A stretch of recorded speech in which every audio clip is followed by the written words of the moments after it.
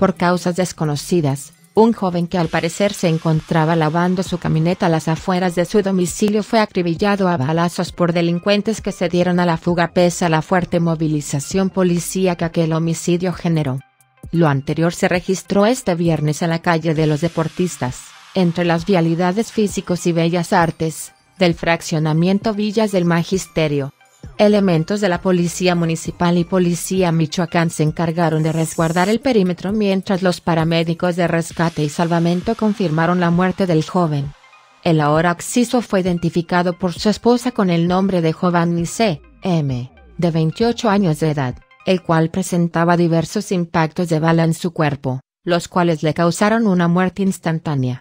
La Unidad de Servicios Periciales y Escena del Crimen, dependiente de la Fiscalía General del Estado, se encargaron de realizar las diligencias respectivas. Posteriormente llevaron el cadáver a las instalaciones del Servicio Médico Forense para la práctica de la necropsia de rigor.